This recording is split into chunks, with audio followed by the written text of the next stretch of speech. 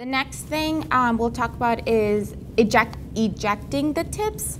Um, so we get the tip on, like I said, and I like to do the double just to make sure it's actually on. So we have our liquid, and take the liquid out, and we,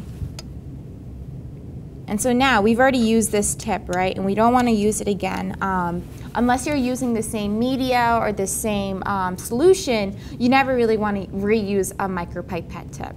So a to way to um, get rid of the um, micropipette tip. So we've been using this top one to get the liquid out. For um, ejecting the tip, we use this one right here.